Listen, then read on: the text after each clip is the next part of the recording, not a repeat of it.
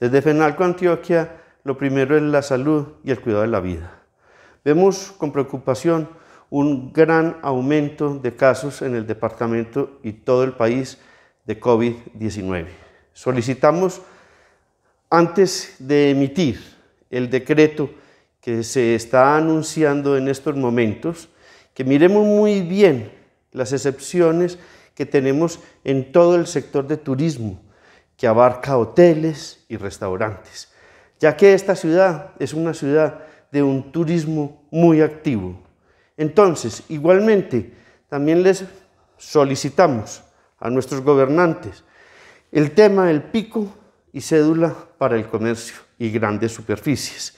Este tema es limitar un poco las actividades comerciales que hay para esta época de Semana Santa. Más bien, invito a las autoridades y a los comerciantes a que revisemos muy bien el tema de aforos de cada lugar. Desde FENALCO y la gobernación y las alcaldías debemos revisar todo el tema que es de comercio informal. El comercio informal también es una actividad que aglutina y aglomera.